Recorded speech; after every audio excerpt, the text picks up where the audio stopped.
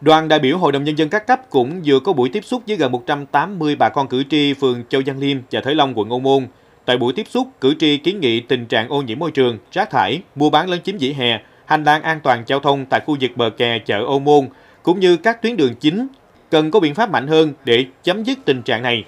Chế độ chính sách cho người có công, tình trạng quy hoạch treo, tiến độ thực hiện dự án chậm gây khó khăn cho cuộc sống người dân.